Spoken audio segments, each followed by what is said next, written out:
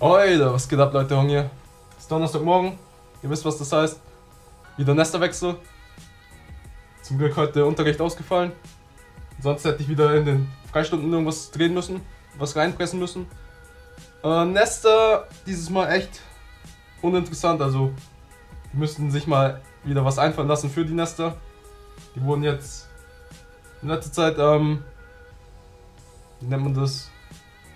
Vernachlässigt alle reden nur über das neue Arena-System, dass Arenen broken sind und das irgendwie gefixt werden muss. Aber da haben die natürlich recht.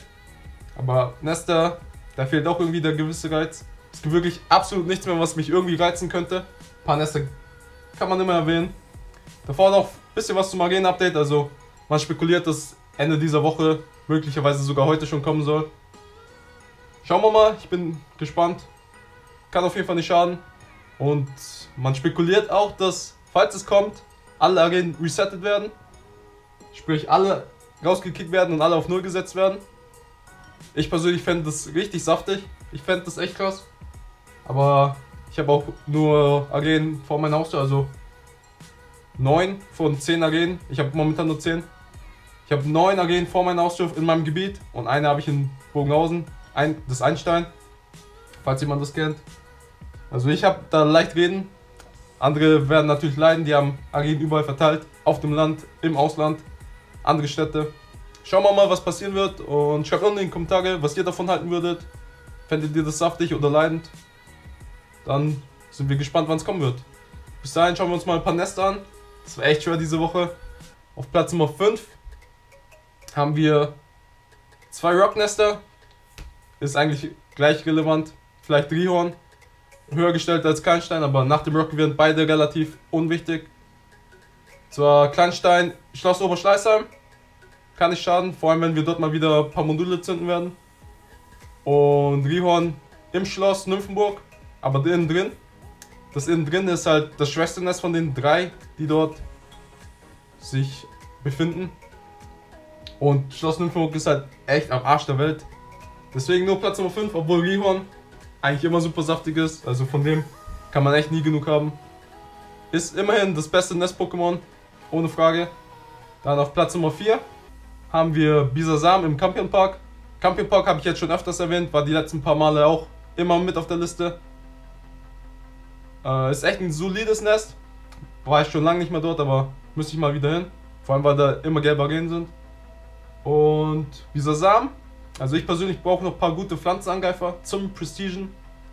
Aber mal schauen, was das Arena-Update bringt. Vielleicht braucht man das dann überhaupt nicht mehr. Aber bis dahin könnte ich auf jeden Fall ein paar gebrauchen. Rankenhieb Solarstrahl. Echt super saftig. Dann haben wir auf Platz Nummer 3, direkt bei mir vor der Haustür Panzerwiese, ein Magnetilonest. Äh, Gibt es auch noch eins im alten Botanischen Garten, aber nicht alten, im Botanischen Garten einfach. Aber da muss man Eintritt zahlen, also das Nest ist super saftig, ihr wisst. Ich habe da Rihörner gefarmt ohne Ende. Aber man muss halt Eintritt zahlen und für Magnetilus würde ich das nicht machen. Panzerwiese, richtig große Fläche, also das sollte man echt nicht unterschätzen, aber also wer die Sternenmedaille noch braucht, kann dort vorbeischauen. Oder wer so verrückt ist wie ich und die Medaille auf 1000 bringen will. Also ein paar werde ich auf jeden Fall mitnehmen. Ist direkt vor meiner Haustür, also selbst einfach so beim Vorbeigehen werde ich ein paar fangen. Ist kein Problem. Dann haben wir auf Platz Nummer 2 wieder etwas bei mir in der Nähe. Luitpold Park. Die Teddy Osters. Die waren die letzten zwei Male im Campion Park, also vier Wochen im Campion Park. Habe ich nicht geschafft, dorthin zu gehen.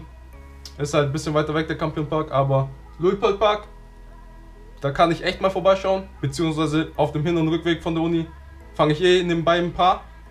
Also, das klingt echt nicht schlecht. Können uns ein paar Ursagings züchten und dann die ganzen blauen Arenen dort platt machen. Und dann haben wir auf Platz Nummer 1 Kanimani, Maximiliansanlagen, da wo das erste große Overnest war.